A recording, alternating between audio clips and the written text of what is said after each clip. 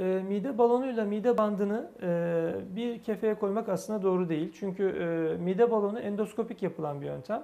E, ameliyat e, kabul edilemez, ameliyatsız bir yöntem ve obezitenin kesin tedavisinde tam olarak yeri olmayan bir yöntem. E, ancak mide balonundan da çok fayda gördüğümüz yerler var. E, bu hasta grupları iyi seçilirse e, obezite cerrahisinin e, yardımcı bir yöntemi olarak kullanılabilir.